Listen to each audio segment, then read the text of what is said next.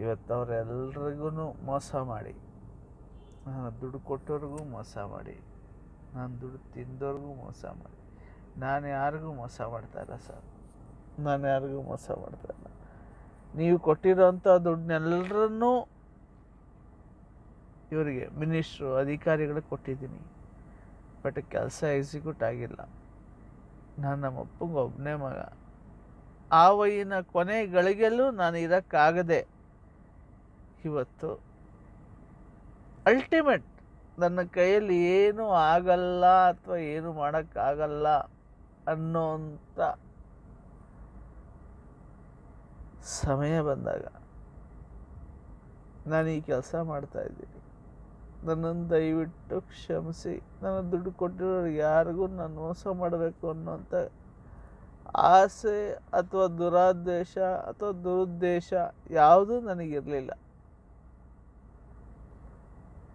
But ನನ್ನ ಕೈಯಲ್ಲಿ ಈ ಸರ್ಕಾರಿ ಕೆಲಸನ ಮಾಡೋಕ್ಕೆ ಆಗಲಿಲ್ಲ. ನನ್ನ ದುಡ್ಡು ಕೊಟ್ಟವ್ರು ಯಾರು? ಹಾಳಾಗೋಗಲಿ ಅಥವಾ ಇನ್ನೊಂದಾಗಲಿ ಮತ್ತೊಂದಾಗಲಿ ಅನ್ನೋಂಥದ್ದು ಇಲ್ಲ.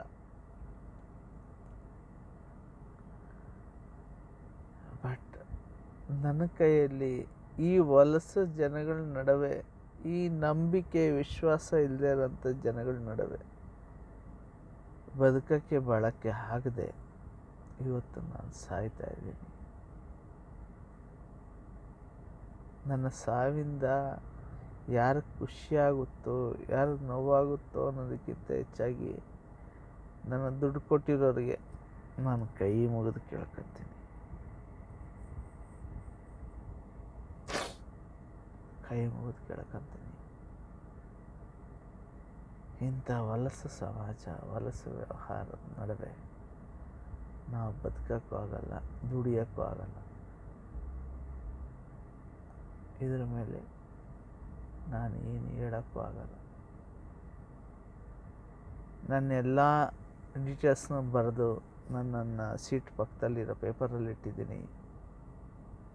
ನನಗೆ ಒಬ್ಬನೇ ಮಗ ನಮ್ಮ ಅಪ್ಪಗೆ ನಾನು ಒಬ್ಬನೇ ಮಗ, ನನಗೂ ಒಬ್ಬನೇ ಮಗ. ಬಟ್ ಒಬ್ಬ ಅದ್ಭುತ ಅಪ್ಪನಾಗಿನೂ ನಾನು ಬದುಕಲಿಲ್ಲ. ಒಬ್ಬ ಒಳ್ಳೆಯ ಮಗನಾಗಿನೂ ನನ್ನ ತಂದೆಗೆ ನಾನು ನ್ಯಾಯ ಒದಗಿಸೋಕ್ಕಾಗಿಲ್ಲ ಆದರೆ ಇವತ್ತು ಯಾವುದೇ ಥರದ ಏನು ಹೇಳಬೇಕು ಅನ್ನೋದು ನನಗೆ ಗೊತ್ತಾಗ್ತಾ ಇಲ್ಲ. ಬಟ್ ಈ ಸರ್ಕಾರ, ಈ ವ್ಯವಸ್ಥೆ ನನ್ನ ಈ ದಿನದ ಸಾವಿಗೆ ಕಾರಣ. ದಯವಿಟ್ಟು ಕ್ಷಮಿಸಿ. ಅಣ್ಣ, ಅಂದರೆ ನಮ್ಮ ಅಪ್ಪನ ನಾವು ಅಣ್ಣ ಅಂತ ಕರಿತೀವಿ.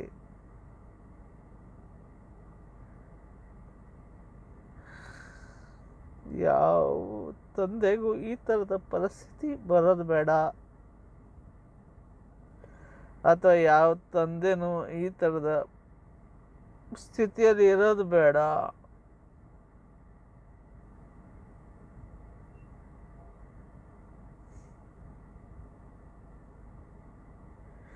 ಈ ರಾಜಕೀಯದ ದೊಂಬರಾಟದಲ್ಲಿ, ಈ ರಾಜಕೀಯದ ವ್ಯಕ್ತಿ ನಡುವೆ ನಮ್ಮಂಥವ್ರು ನೂರಾರು ಜನ ಬಲಿಯಾಗ್ತಾರೆ.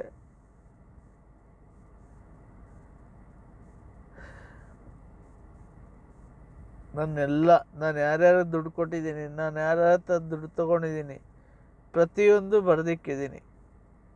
ಇನ್ನು ಕ್ಲೋಡ್ ಉಮಾಶ್ರೀ ಮಾಧವ ಪ್ರಸಾದಿಂದನೂ ಹಿಡಿದು ಪ್ರತಿಯೊಬ್ಬರದು ಬರೆದಿಕ್ಕಿದ್ದೀನಿ.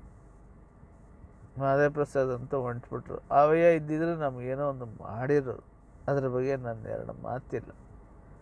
ಆದರೂ ಇಲ್ಲ ಇಲ್ಲದೇ ಇರೋ ವ್ಯಕ್ತಿ ಬಗ್ಗೆ ನಾವು ತಪ್ಪಾಗಿ ಮಾತಾಡೋದು ತಪ್ಪೇ. ಆದರೆ ಇರೋಂಥ ವ್ಯಕ್ತಿಗಳು ನಮ್ಮ ಹತ್ರ ದುಡ್ಡು ತಗೊಂಡು ನಾಟಕ ಆಡ್ತಾರಲ್ಲ ಅವರು ನಾನು ಏನು ಹೇಳಿ? ಎಲ್ಲ ಮೋಸಗಾರರು